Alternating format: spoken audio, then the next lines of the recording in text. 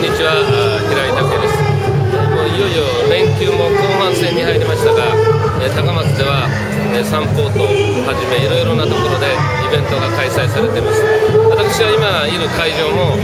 これは高松市香川県が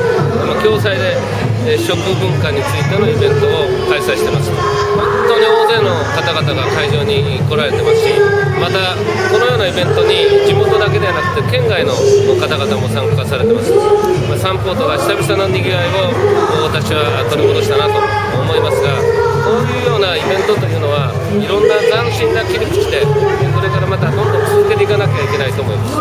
えー、時間と空間を再構成するそのためのアイデアを出し合うというのがこれからの時代です人は集まるところに人が集まるまあ当たり前のセオリーですがこれだけ多くの人手が出てるということが街の活性化にそのものにつながると思います。